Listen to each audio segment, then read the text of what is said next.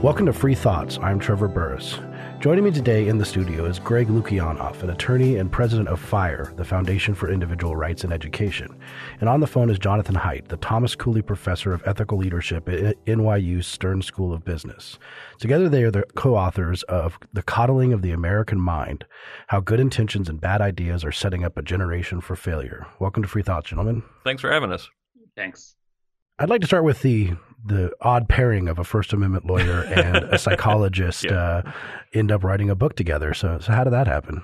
Um, well, uh, you know, to make a long story short, um, sometime around 2013, um, I noticed that uh, the uh, suddenly uh, um, students had always been the best constituency for free speech on campus, and I'd been working uh, at, at, Fire since 2001, and almost overnight we saw um, students suddenly um, really opposing speakers and demanding new speech codes and demanding uh, trigger warning policies and microaggression policies, and it happened so quickly. I've talked to other friends like, who, are, uh, who are pundits and that kind of stuff, and like, what what just happened? Like, what did we just get hit by? Because um, you know, they'd always been so good about this.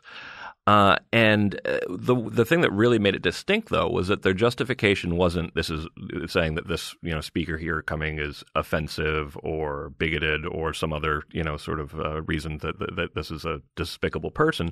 It was medicalized, um, and, and, very suddenly people were arguing that it would be traumatic to have this person here. Um, hearing this, having this person would leave me feeling safe, possibly trigger me, lead to medical consequences. And I'm I'm kind of a psychology hobbyist. Like I, I like to read lots of books about it, but I also personally have benefited tremendously from cognitive behavioral therapy. And I was looking at this ideology that I've been thinking about for years and thinking, this isn't what a psychologist would say. They wouldn't say, you know, like, if you're afraid of something, by the way, hide from it as much as you can. Um, and so I, I, went and talked to, to, Jon about this. Jon and I be, had just uh, pretty recently become friends. We went to an Indian restaurant in, um, uh, in, in Greenwich Village, I think and uh, I, I, discussed the idea with him, and to my surprise and delight, because I'm a big fan of Jon's work, he said, um, "Yeah, let's write an article about it." Back, and this was back in 2014. So you know, it's as, simple as that. And Jon, you had you been thinking about from your field in psychology? It's something I've thought about too. This sort of not just in this student speech context, but the weaponization of psychological concepts to describe yourself when people casually say they have OCD or things like that. Is that something that you had been paying attention to, Jon? Well, it's unclear whether it's weaponization um, or whether it is uh, a change in their self concept and, and, that they really believed it. Um, so I had I had uh, just moved to NYU a couple years before. I, I, spent my career 16 years teaching psychology at the University of Virginia, and only looking back on it now do I realize that all of my students at UVA were millennials. I taught the entire millennial generation. And when I moved to NYU, we thought the millennial generation was going to go on for a number of, additional years. We thought millennials were those born up until 2000 or so. Uh, but around 2014, I began to see students reacting very strongly to um, to images, to words. I began hearing this new language of safety. So when Greg told me that summer, uh, summer 2014, about his idea, I thought it was really brilliant. I thought it was the only explanation I'd heard uh, for this uh, for this sudden change. And and I look at because I study morality, so I look on it as a, a new moral order. It's not it's not that some people are bad or are trying to do something nefarious. It's that there's a new way of looking at at people and relationships and uh, and it's very confusing. It's confusing to people who are older than about 30. Um, so that's what we set out to understand, and uh, that's what we laid out in much greater detail in, in our book. And that's something I've noticed. I mean, not just in the OCD con, con like I, using OCD and things like this, but the use of the word trauma. Yeah. It, it that's been kind of seemingly going up it, not just starting in 2013 or something. I've heard people using the word trauma, like seeming to overuse it for quite a while. That th- things are traumatizing to them. That seems to be stretching of the definition. And you say that definition has stretched, correct? Well, that's right. So we, we draw heavily on a, an Australian psychologist, Nick Haslam, who wrote this really brilliant paper on concept creep. And he shows how concept, concepts in psychology have changed since the 1980s. Now, of course, words change, concepts change, but what's interesting, he notes, is that they only move in one direction, and that is downward. That is, they become um, uh, more and more permissive to allow more and more things in. And these are the concepts like bullying, addiction, trauma, uh, bigotry, Uh, there's a, a, couple of others. So he notes that they move only down to take in more stuff. And then I wrote a commentary on the paper uh, in which I observed that they also move in one direction politically. That is, they only move to the left, uh, by which I mean they only move in ways that allow people on the left to make a stronger claim about whatever it is they're trying to do. So if you're if you imagine being a prosecutor in court, um, and you want to say that America is a matrix of oppression or something like that, um, you would want to take in more and more victims. You'd want uh, uh, criteria to become weaker and weaker, but only for your side. So this is not necessarily something about the left versus right per se. Uh, my interpretation is that as universities have become more and more homogeneous politically, it could just as well have happened in institutions on the right. But as universities have become more and more homogeneous politically, um, some of our research has been pressed into service or, or drawn into service uh, to, to fight the broader culture war. And so establishing, so using mental health criteria uh, to fight political battles, I think, is partly what has happened. Now, if that's weaponization, well, I suppose I just made a case for it. well, um, and you know, I was a, like I said, I was a fan of Jon's work uh, before uh, meeting him, and Righteous Mind uh, was one of his uh, one of his great books. Don't forget the Happiness Hypothesis. That's, oh, happy, that's also a great actually, one. Happiness Hypothesis was even more why I, I sought Jon out. Boys, I'm enjoying this. Partially because it talks about meditation and CBT, things I, I really believe in. I just think it's a, it's a great book in general, um, but also Righteous Mind, and he talks about how sort of um, if you look at the political spectrum, increasingly people on the left have, have almost a unipolar morality that's all about sort of the the, the care ethic. Um, that essentially anything that you can say uh, does harm to victims um, that's all that matters. And without sort of a balancing out of other other sort of moral foundations, it does. Ha- I think it partially explains why it would sort of uh, tear away from that. But it also has the added benefit of creating something that you know I've, I've called the perfect rhetorical fortress, where essentially um, I, we've used an awful lot of IQ points, an awful lot of cognitive energy on campuses, um, even back when I was there in, in, in the '90s, to figure out ways to not have to actually to always win an argument by never getting to the argument. Because if you can argue um, things like you can argue privilege. I mean, when I was in law school, it was easy enough just to say, "Oh, you're a conservative. I don't have to listen to you." And I, I, I feel ashamed that I that was actually somewhat effective on me for a while. I did, meant that I didn't read Thomas Sowell and Camille Paglia to much to, to much later. But now we've got this incredibly Byzantine system of ideas like punching down and privilege and trauma um, that really more or less allow you to never actually talk to anyone you disagree with if you don't want to, or at least um, uh, disqualify them from having an opinion. Yeah. Yeah. Let, let, me just add on to that to say uh, that the the use of those rhetorical strategies rather than addressing the argument is extremely important for understanding universities because those strategies make sense in the public square where it's one giant boxing match and you don't really have to persuade your opponent what you're trying to do is show off for your team motivate your team uh, you're trying to inspire onlookers but in universities we've organized to do something very very different we're not there to do a giant you know, public relations campaign. We're, we're there to put people into dialogue with each other so that each one can contradict the confirmation bias of the other. As long as people are engaging in argument in good faith and really trying hard to find flaws in the argument, then the whole system works and it generates wisdom and, or I should say, knowledge and truth that we couldn't get at otherwise. But when a whole generation is learning to respond to arguments not by picking them apart, but by discrediting the speaker, basically they're learning super advanced techniques of ad hominem argumentation. When that happens, it basically stops us from doing the work that we're here to do. Now, I went to Boulder in it's been about 20 years now, but but Boulder was that we had that first wave of discussion of political correctness on campus in the 90s, and I I started there in 1999, and and I took a bunch of literary criticism classes, and and I'd heard a bunch of these ideological concepts before they kind of broke into the mainstream here, and I regarded them as extremely dangerous, but somewhat confined within my postmodernist uh, deconstruction professors and things. But I did have professors in law school, for example, tell me that uh, Marxist feminist professor that her quote she always used was "You can't fight an enemy that has outposts in your mind," which which is her describing hegemony and the way words can sort of work into your brain. You always have the "you can't fight the master's house, take down the master's house with the master's tools" ideas, where they're basically saying that the words are getting into your head and so changing your thought that you're unable to think enlightened thoughts. And I told her one time that her line, um, "You can't fight an enemy with outposts in your mind," was functionally not different than witchcraft. That people people with with words had put a spell on people. Right now, but that being said, if I believed that. Uh, and that was the kind of harm, I would absolutely want to shut those speakers down for the same reason that religious people want to shut down heretics right? I mean, is that really what, what was happening here on the ideological side? Oh, that then that's been one of the fun things about working with Jon. At one point, um, I, during writing the book, uh, when he talks about this ideology being very much like a religion, um, which definitely from his own work made, made, a lot of sense to me. I, I, asked Jon, like, are you saying that it's um, sort of like analogous to religion, or virtually like virtually coming from the same place? And and he was like, well, actually, it's really a lot of this really does seem to be taking the place of religion. Am I am I saying that correctly, Jon? exactly. It's not an analogy. It's a homology. It's using the exact same psychological structures. So uh, a lot of my work, uh, certainly in the righteous mind, was about how humans evolved as tribal creatures.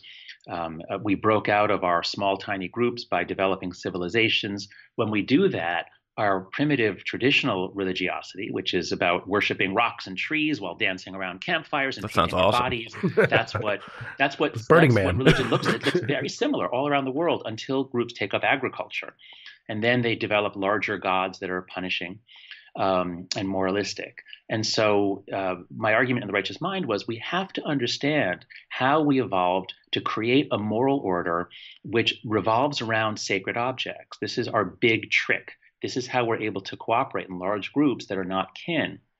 Once you see that in religion, then you can take away the formal religion and you see the same stuff operating. So if you look at fraternity initiations, you know, I was once on the radio talking about the righteous mind, and I said, I mean, it could be anything. It could be like a beer keg. And some guy calls in and says, Well, actually, at my fraternity, we had the rite of the beer keg and we worship the beer keg. so, you know, it's it's very deep primitive stuff. It's, it's stuff that makes me like Carl Jung, the idea of archetypes. Um, and so you see it in sports, you see it in politics. You can't understand group action or political action unless you understand religion. And there are more fundamentalist forms of religion that are quite toxic to those around and to those practicing it. And then there are much more benevolent forms of religion. So, you know, most sports doesn't lead to soccer hooliganism, but, you know, in Britain, somehow they've made it toxic and it does. Similarly, uh, most student activism doesn't lead to toxic outcomes, but there is this new kind of student activism in which students get prestige precisely by calling other people out, mostly for word use. It, it, mostly most of the charges are about a single word, not even an argument. It's usually about a single word. I, I don't know usually, but very often about a single word. And so this is a kind of a it's a bla- it's basically blasphemy. It's the psychology of blasphemy has been imported into universities, which is the last place on earth where we should have blasphemy laws. Yeah, and that that reminds me, um, uh, the 2015 article that we wrote in the Atlantic. Um, that was our first sort of foray into this. This is actually um, when we co-authored uh, an article also called "The Coddling of the American Mind" in the Atlantic, and we wrote it in the summer of, of 2015. And I emphasize that, or we finished it in the summer of 2015. Um, and I emphasize that because uh, later on, people actually thought we were writing in response to the sort of Black Lives Matter protests um, that hit, you know, about 100 campuses um, in, in the fall of 2015. And you know, I'm a First Amendment lawyer. I, am the head of an organization that defends free speech rights and, and, has had great fun defending the rights of students. But the thing that made the protests in 2015 feel like such a mixed bag was, on the one hand, students are overcoming apathy and they're and they're they're fighting for what they believe in and they're exercising their free speech. But in too many cases, for me at least, they were also demanding, uh, you know, new speech codes. They were demanding like the Wesleyan Argus be shut down for running a single article that was critical of Black Lives Matter. Uh, there was a whole Christakis thing, of course. And as we discuss in the book, that's the um, thing at Yale, correct? Yeah, exactly. Sorry, um, that we discuss in the book is the very sad story of Dean Spellman. That was was that Claremont McKenna, Jon? Yes, at Claremont, uh, Claremont McKenna. McKenna. And what's so sad about that one is that it absolutely was someone trying to say something nice, someone trying to be compassionate, and maybe they used the wrong way of saying it, but really got treated very much like a blasphemer. Now, on that, on those examples that you give it throughout the book, uh, some people have wondered, and it's sort of an active discussion now that that you see East Coast schools often, liberal arts colleges, some higher level colleges like Yale, this happening there, uh, Berkeley, places where you might expect it. And those are very, very visible. Mm-hmm. and we might be having some sort of bias in, in, thinking that it's more widespread than it actually is because we've seen some extremely high profile things. Mm-hmm. Uh, do we have an idea of how widespread this actually is? I mean, if you go to say Mississippi State University or or someplace in the South, or is you going to get as much of this stuff as you would in, in Yale? Yeah, we do have uh, we do have some some evidence on it. And um, so when we started talking about about this problem, um, Jeff Sachs, an econ- uh, a political scientist in Canada, uh, wrote a, a, tweet storm looking at data, challenging us, uh, and it was a very productive debate. And I think what came out of it is the recognition that America has 4,500 institutions of higher education. And so if you go to the great majority of them, you wouldn't see anything. There are not protests. Um, you know, there, there's nobody shouting anybody down. In fact, uh, Sean Stevens, the research director at Heterodox Academy, graphed out where the actual shoutdowns have taken place. And they're almost all in the Northeast, and the coastal strip of the West Coast. In other words, they're only at progressive universities in very, uh, very left leaning parts of the country. And this makes sense if you think about the social dynamics such that it, uh, there's, a, there's a, a strong consensus about the moral order, and everybody's on one side. And it seems obvious, it seems uh, uh just objectively true uh, what is the right way to, to think and be.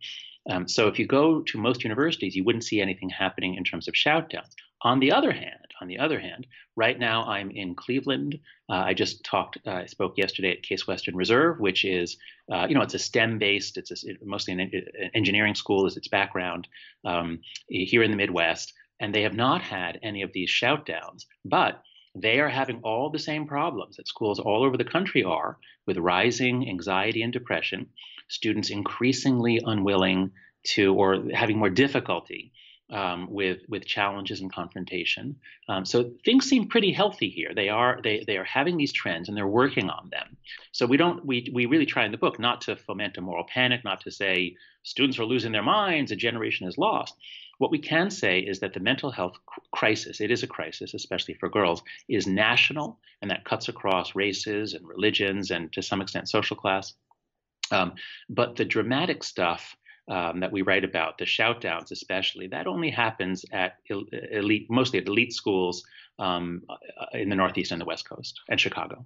Yeah, and um, one thing, uh, uh, putting my fire hat on, but also pointing out the chapter, chapter where we talk about bureaucratization, corporatization of universities. Um, even though some of the more uh, ideologically um, tinged, to say the least, uh, things tend to happen at, at, a lot of these elite colleges, and also school like Evergreen. I'm not really sure how you'd characterize Evergreen State University, um, but at other schools, you still have the time, the kind of challenges that fire has seen throughout our entire career, where it's just an administrator who might be afraid of a lawsuit or a regula- regulation really clamping down. So the problems are, it's not as if we're saying that there's no problem at these other schools, uh, just it hasn't been as uh, as self righteously um, ideologically driven. Now we also recognize the possibility, though, that a lot of times the, you know these these concepts kind of drip down into the rest of the society. So it, I'm curious to see what the next you know five years look like. Well, no, we're, we're actually seeing it happen already since the book has come out. I'm getting a lot of email from principals and uh, at high schools and parents of high schools, high school students, because they, they're seeing these same trends, the move towards describing words and ideas as safe versus dangerous, um, the the idea that kids should not be forced to do things that are unpleasant. Uh, as there was the the big brouhaha a week or two ago, some students uh, were where students around the country are asking that they not be required to do public speaking because some students uh, find that very anxiety provoking, so therefore we should eliminate the requirement. Um, so it's creeping down into high schools and it's creeping out very quickly into the workplace, especially in companies that hire from these elite schools. So our book just got an Amazon review uh, two days ago, which I'd like to read. It's short and it's very revealing. So somebody wrote, I couldn't understand why my new bright young workers kept running to HR for every little interpersonal problem and why they refused to refused to show up to meetings with the person who they thought offended them. This book explains a lot about those recent bad hires. So I'm hearing this over and over again that the people in their early 20s, they go into the corporate world, they overhear someone telling a joke, they see a, an image on someone's screen, somebody uses a word, it's often just a word, and they go right to HR. They don't talk to the person, they don't just ignore it, they go right to HR. And Greg, you're in your last book. Um, you you make the point which came out in, in unlearning learning, unlearning unlearning liberty came yeah. out in 2013. I want to uh, say 2012. 2012, and you had expressed at that point that the, your biggest concern was what would happen to these students when they go out into the world, mm-hmm. right? And and if they come up with these illiberal ideas and then right. they move out into the world, but that was before yeah. the the new right onslaught of, of, what you guys call iGen. So so what what is this? I mean, Jon mentioned it previously too, and you mentioned it the 2013, and and there's a difference between millennials and this generation called iGen, is is which is a a term you take from another author. I Jean think. Twenge, yeah. Yeah. What, what is who who are the iGen generation? iGen are people uh, born 1995 or after, um, and it, it, it, basically Jean Twenge is a, a, generational expert. That's what her whole career has been looking at differences between generations, and she saw a really dramatic discontinuity between millennials and people born after 1995, and that's actually a really good way to figure out you know where generations starting to begin is by looking at surveys and all that all that kind of stuff. Um, in her book, she uh, thinks that a lot of the and we're one thing that we found out that was you know really kind of horrifying in, in, the early research for the book was that while we had kind of assumed that there was going to be um, an increase in anxiety and depression on campuses because, like we argued in our original article, we're teaching a generation the habits of anxious and depressed people, so we shouldn't be we shouldn't be surprised that they're anxious anxious and depressed. But when the numbers finally came in, and you know uh, when Jon looked at them, they were much much worse. Yeah, I, I just read this. This is the the stat of the book that made me audibly yell out and, and when I was reading it. Uh, a 2016 report by the Center for Collegiate Mental Health using data from 139 colleges found that by the 2015-2016 school year, half of all students surveyed reported having attended counseling for mental health concerns. Yeah. That is shocking. Uh, and and oh, did, did, you oh, see that, that too, Jon? That's nothing. You can see much for shocking stats. you know, you know, because that could be just that um, just that this young generation is much more comfortable about talking about mental health. That could be a good thing. So there was an article in the New York Times two weeks ago by Richard Friedman, a psychiatrist, who said, "Don't worry, there's no anxiety epidemic. Screens aren't rotting your kids' brains." Uh, you know, here's the biggest survey done in 2012 shows no change. Well, yeah, in 2012 there was no change. And then he says, and you know, there are a couple of surveys that uh, show that a recent increase, but those are just based on self-report, and students are more comfortable talking about it. So it doesn't mean anything. Well, we thought about that long and hard. We looked really hard at the data because we didn't want to foment a moral panic. And the two pieces of evidence that really convinced us that this is real and serious are a study published in the Journal of the American Medical Association that found it looked at hospital admissions. These are kids who were admitted to hospital for harming their bodies to the point where they had to be hospitalized. They weren't, it wasn't fatal, and, and they often weren't, they usually were not suicide attempts, but it's, you know, cutting yourself and, uh, with sharp objects, things like that. Uh, and the rates are up they're way, way up for uh, girls ages 10 to 14. They're up substantially for girls 15 to 19. They're not up for boys, and they're not up for girls over 20. So it is unique to um, iGen, to the basically to kids who were teenagers when social media came out, or when they when they largely got on at around 2010, 2011, 2012 is when there's the big uptake. So it, hospital admissions for self-harm are way up, and that is not self-report. And most alarmingly, suicide is up, and that's for both sexes. So uh, if you look at the last two years of data, for boys and girls, uh, teenage boys and girls, what we find is that the rate for boys is up 25% uh, from the average of the first decade of this century, the average 20, 2001 to 2010. 25% up for boys. That is huge. The increase for girls is 70%, 7 0. So this is not an illusion of self report. This is a, a tidal wave of anxiety and depression leading to self harm, hospital admissions, and suicide. So and uh, so one of the causal uh, uh, so we talk about six causal, causal threads um, and we talk about anxiety and depression, but in two distinct chapters, one on polarization, which we also think is part of the reason why all of this is sped up. We think polarization, particularly echo chambers, really speed speed this up and reward tribalistic behavior. But social media does play a role in both speeding up polarization, but also um, for depression and anxiety. And we agree with Twenge that that the the numbers are quite convincing that there's a correlation there. Just just the but it just doesn't explain enough of the variance for um, uh, depression uh, and anxiety. That which is why we do actually assume that excessive social media use, particularly for these sort of social comparison websites, can be very harmful to you know particularly young people's um, uh, happiness. And the way I put it for people who, who, look at me skeptically when I say this, I, I say, imagine being in uh, the worst aspects of junior high school, twenty four hours a day forever. does that does that sound nice to anybody? So those yeah, are you can't, you can't, even get away on weekends when you're home with your parents. Or, or and people don't get uh, you know they're still on their smartphones at two o'clock in the morning too, which doesn't which doesn't help. So those are the first two causal threads. Do you want to talk about the other ones, Jon? Yeah, sure. Just wait before we get off this. I just um, Lenore Skenazy, the, who wrote Free Range Kids, she just sent me an amazing stat this morning from a, a survey just published in the UK. Because the UK is just about six months or a year behind us. Um, they're having the same events on campus. I thought the time difference was more uh, like six hours. um, so uh, they're they're having the same uh, issues of rising anxiety and depression among teenagers and especially girls. So here's a, a survey found uh, finds sharp decline in happiness of young women and girls, and nestled within all the statistics is this. Um, in other ways, however, girls' lives appear to have contracted as their world moves online. In 2009, 69% of girls met friends at each other's houses, compared with 21% in 2018. So think about that. You know, in junior high school or early high school, you'd go over to a friend's house, you'd go play. They don't do that anymore.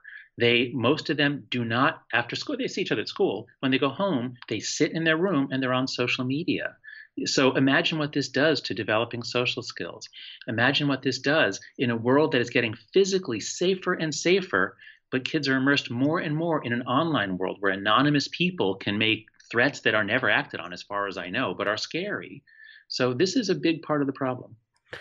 And so we talked to the six uh, ways leading up to this. We're kind of going backwards here, but I think it works. Is we'll get to the three untruths, but if we set the stage with here's a generation and here's what happened to them, and then we bring them into college, and we'll, we'll get to that. But so we have uh, anxiety, depression, parenting practices, and play. Would you like to talk about that, Jon? Sure. Um, so, the, so the main thing we're trying to explain is this rapid change in 2014 that Greg noticed, and that became really, really clear in the year or two after we published the Atlantic article. Why did things change so quickly? And we identify six causes. Um, and so, t- two of them are about changes in parenting. So, one is paranoid parenting. That is the idea that um, uh, so until the idea that if you the world's dangerous for kids and if my kids are ever outside without me or another designated adult watching them they will be kidnapped or at least there's a, such a high risk of being them being kidnapped that it is worth me not letting them out. It is worth me depriving them of freedom um, to to remove this microscopic chance that they will be kidnapped. And this happened because of cable tv there were a few highly publicized uh, uh, killings of, of, of of young children, Etan Patz and then Adam Walsh especially. Um, so in the 80s, that kind of gears up. But it's not until the 90s that uh, that kids seem to have been uh, that, that the new idea came out that if you let your kids walk to school or play in a park, you're a negligent parent. And it's not until the early 2000s that we hear the first reports of parents being arrested because their kids were caught playing in a park unsupervised. So the change in childhood um, comes in gradually uh, in the in the 1990s. Kids learn of stranger danger, the world is threatening, uh, and so sure they're they're more afraid now. That's part of it. Uh, so that's the paranoid parenting. Related to that is the loss of free play, and this we think this was the most interesting and exciting thing that we learned that was new to us. Yeah, it was a really fun chapter to write. Um, it's that well mammals play we all know that um, i was walking through washington square park the other day in new york city and i was walking by the playground where all the toddlers played it was really cute to see them running around and screaming and rolling and tumbling and laughing and then and then 50, you know, 100 yards further on, there's the small dog playground, and it was really cute to see the small dogs running and tumbling and rolling and playing and laughing, and you know, um, and you really get you really see, wow, this is what mammals need to do. This is what young mammals need to do. They need to wrestle and play and run and test each other. Um, mammals practice chasing games, play, uh, tag, to prepare for either being prey or predators. So, in all kinds of ways, play builds the mind. The, the human brain is designed to be completed long, long after birth, and play is what completes that wiring. Well, what happened in America and also the UK, it turns out, um, as we got more paranoid, we didn't let our kids out, and then we also went insane for early academics. We got this ridiculous idea that uh, if our kids listen to Mozart, they'll be smarter. If our kids learn fractions in first grade, they'll be smarter than if they wait till third grade. Let's push everything earlier. Let's see, what should we kick out? Well, recess and art, we don't need those things. They won't help you get into college. So the loss of play, uh, we believe, is one of the biggest reasons why kids who are play deprived find interpersonal conflicts very, very hard to resolve. They don't have the skills, so they run to HR and then they refuse to come to the meeting where they have to face the person who made a joke. Yeah, and I, I love how you cite, cite Steve Horwitz, who's a friend and has been on Free Thoughts before to talk about some of these things, and especially the difference between formal and informal play, and how it helps to you can create a basketball game or something. And this is what I did. And I imagine this is what Greg and Jon, you guys did too. You get a, a, bunch of kids of different ages playing a game that's unstructured without anyone supervising. It's not little league. It's a pickup baseball oh, sure, yeah. game, right? And you have to figure out how to adjust because there's a six year old playing with some 10 year olds uh-huh. and, and you work on a way to, to work them into the game, you know, and make sure, and, and that's all organic and, and that's really, really good. And you can't run to, I mean, sometimes someone will run home to mom, which is a, a kind of what Jon was saying about HR, because that's the old saying, right? Yeah. Why don't you run home to mom and tell mommy? It's a bad thing. And that's a rule violation. doing that. You yeah. learn not to do it. You and, learn to work it out. And yeah. now, and now it seems to be what they're doing uh, a, a, lot more. Well, one of the things for, for me from a personal standpoint, well, um, that was really interesting. Actually, the the cha- the parent the the chapters on parenting were two, I think, for both of us, two of our favorite chapters to to research and read. Partially because it was an opportunity for both to learn things that we didn't necessarily know going in, and partially since neither of us are parenting experts. We uh, interviewed our friend Lenore Skenazy, we interviewed Erica Christakis, and Julie Lythcott-Haims, who wrote a book called How to Raise an Adult. And the thing that really stuck in my head was, um, you know, Erica Christakis' work is pr- practically screaming kids need unstructured time, period. They need more of it. They need more unsupervised play and really uh, hitting you over the head with how how well established this is. And this uh, and I, I, have a I have a nine month old and I have a, th- uh, a nearly three year old, and so I live you know I live on the hill where the, the, it's definitely sort of a bastion of, of, of sort of agro parents, and I'm like, wow, this is re- if this is really what what what we're saying, um, and and what the research actually says. No parent I know is actually they're doing the exact opposite of of all of this stuff, which was really uh, uh, really profound to me. So when I try to explain it to like other parents, like in the in the preschool group, they're like, oh, okay, yeah, we need more uh, unsupervised time, but uh, so how do I help them uh, you, you know, do that? I'm like, no, no, that's not, that's exactly the opposite of what we're saying, and it just isn't sticking schedule two hours of unsupervised time yeah. between this period and this period. Go forth and be fun. Highly moderated by parents, of course.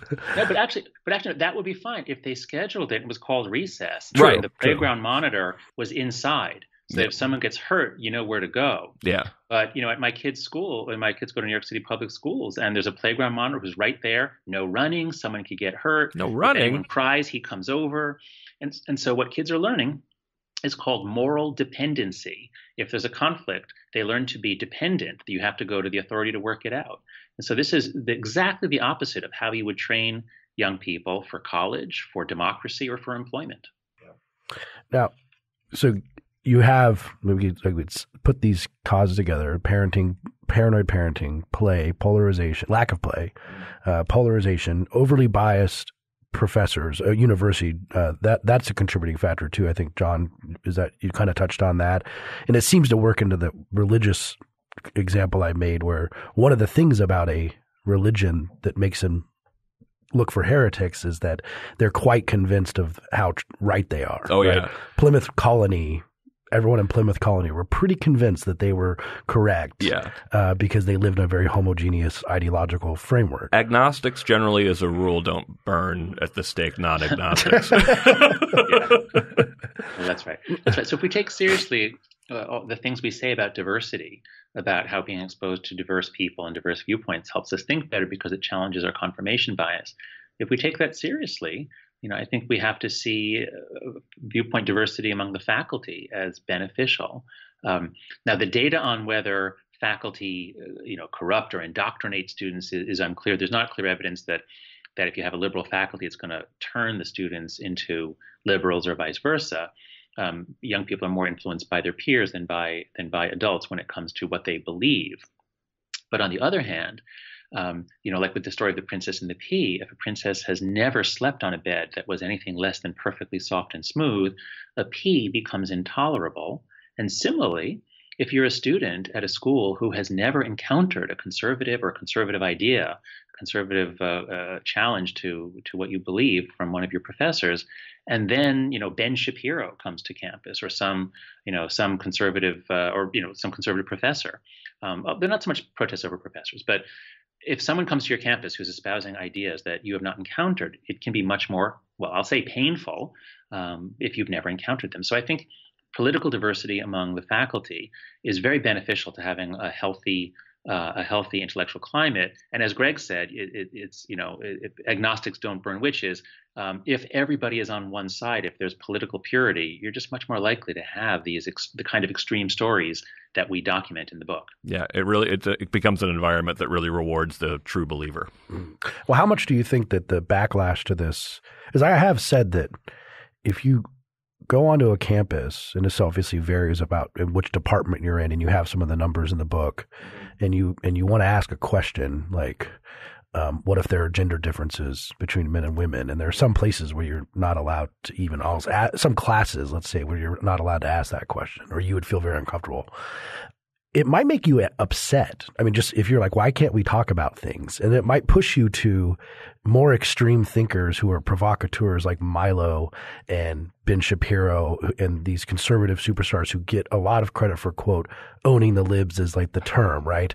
And and and, and they're not being pushed. You know, we'd like them to come to reasonable Cato products, you know, where we say because we're not out there just pushing buttons, but they might just get so mad that they can't talk about things that they just look for the person who talks about it in your face as much as possible, and that's that's not good either because they're getting a poison, often a poisonous version of of those ide- ideas. Well, let's bring us back to our, our causal link of what we call the polarization uh, cycle. That sometimes I even call the polarization spiral because I think it gets so out of control sometimes. My overall belief is that um, due to factors like the ability, like um, social media and also the ability to sort of increasingly uh, cities get decentralized and people can move to counties that quote unquote better reflect their values. Um, that that even like let's say higher education didn't exist, I think we would be more polarized today than we were 30 years ago, no matter what. But higher education is a, a unique institution that should actually be able to make us more sophisticated, more open to the possibility we might be wrong, more uh, accepting of uh, and understanding of people coming from different points of view. So it's it's an institution that has this tremendous potential to actually um, uh, ease and calm some amount of the polarization. But tragically, I think it's actually speeding it up.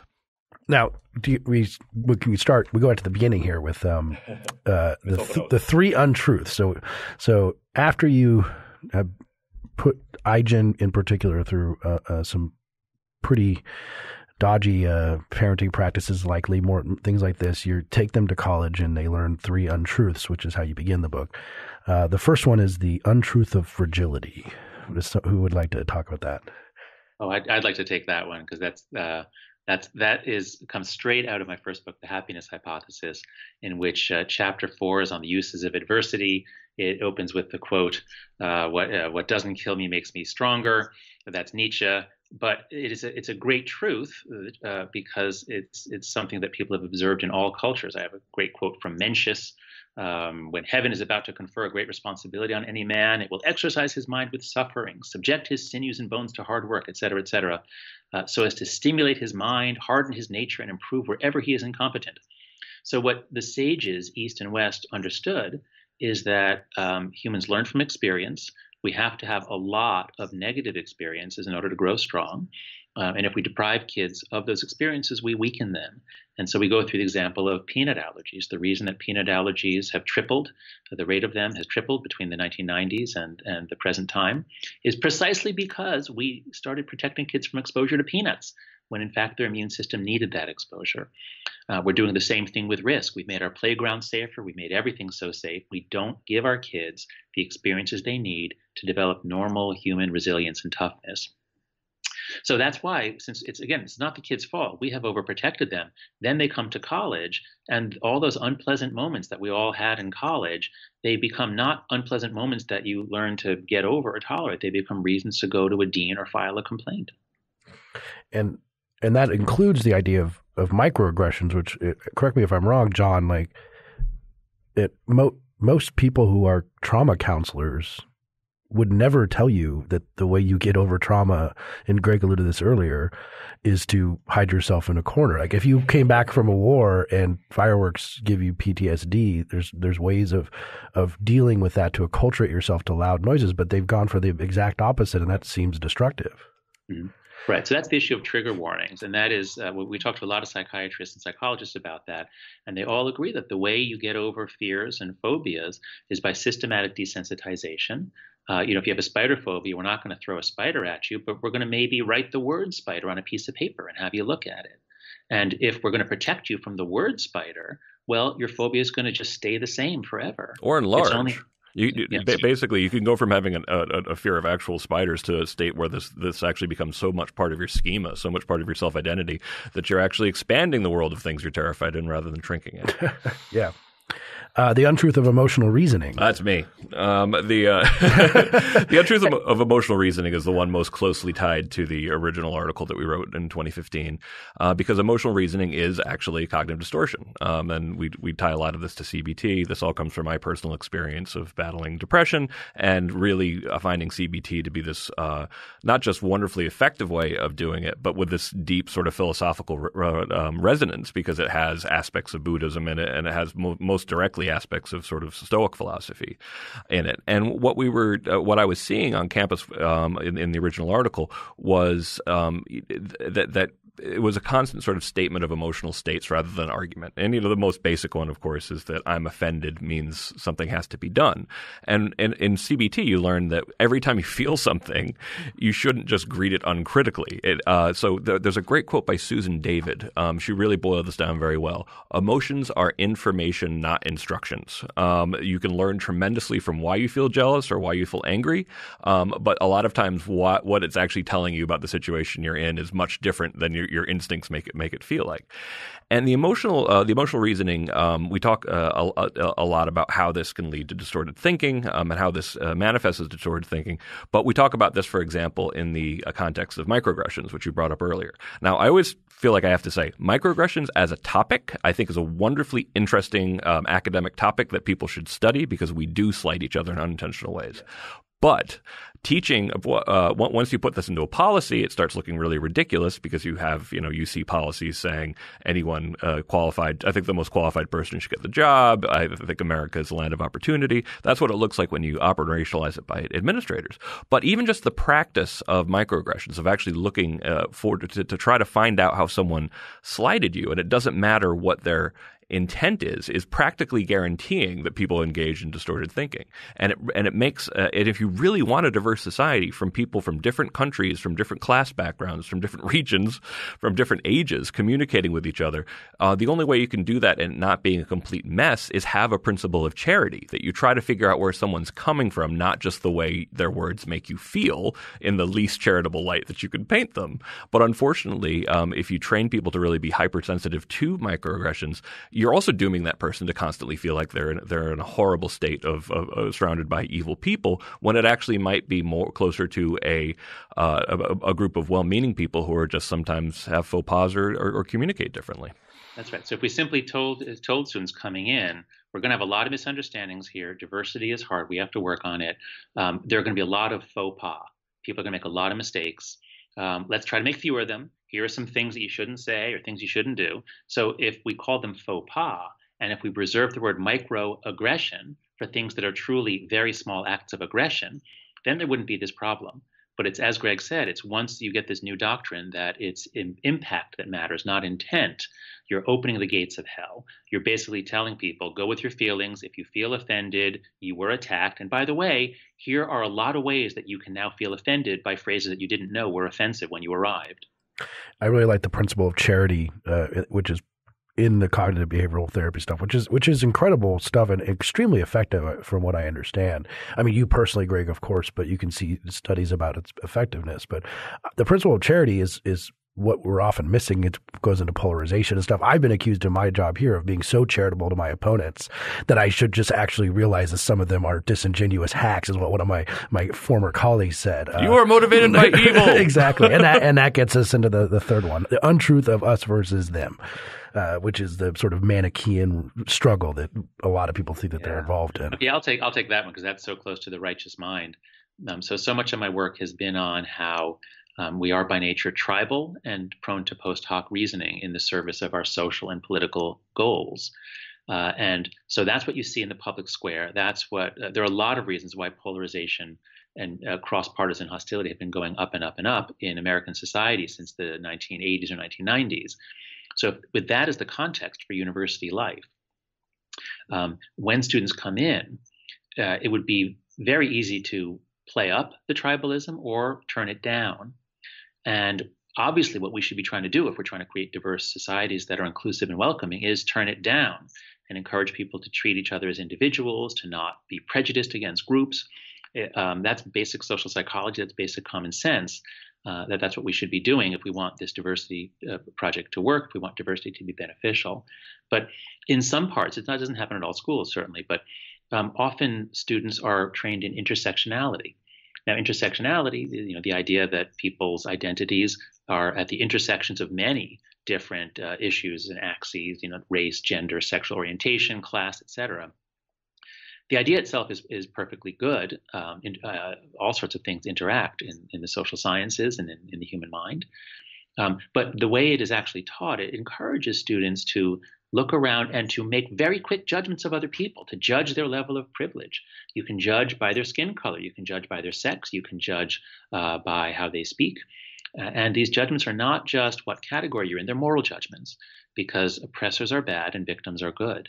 And so, if we are encouraging students to make quick judgments of others, moral judgments of others, based on their group membership, and then we put them together and expect them to create a diverse, welcoming, open environment, there's no way that can work.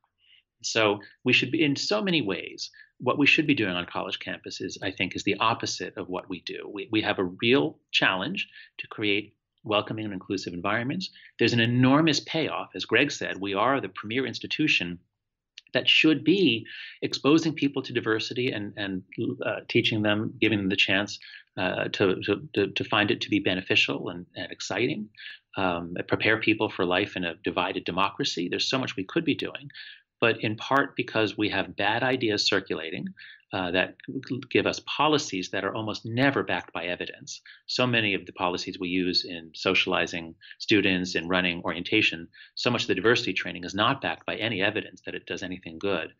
Um, but it's done in part for good intent and in part because how did you say it? These people are you know badly motivated. No, that's not true. But it's done for I think uh, with an ideological agenda in part, and that ends up harming the very students that we're trying to help. Let's end it by telling people where they can go if they're concerned about this problem. First, buy two copies of The Coddling of the American Mind, one for you and one for the principal of your kid's school or the president of your university or whatever um, if if the leaders of educational institutions get copies of the book along with the message, what are you doing about this problem? What are, well, or what are, no, no, let me change that. That's moral dependency. What can we do about this problem? Um, then I think things will begin to change. Um, parents should all go to letgrow.org. It's a group started by Lenore Skenazy uh, and me and Peter Gray um, and Daniel Shuchman um, to, to help parents organize and find ways to give their kids more independence. Uh, Greg, what, where else should people go for information? Uh, they should go to thefire.org um, to, to look at things that universities can do to, um, uh, uh, to, to fight for free speech on campus. I mean, to get rid of their speech codes, to have orientations that explain freedom of speech speech and what to do when professors and students actually get in trouble for what they say. And Heterodox Academy to help figure out how to teach both sides of an issue. That's right. At Heterodox Academy, we have all kinds of resources that, that universities can use uh, to create a, an environment in which people can engage with those who differ from them. So we have a lot of essays, a lot of resources uh, for improving institutions of education.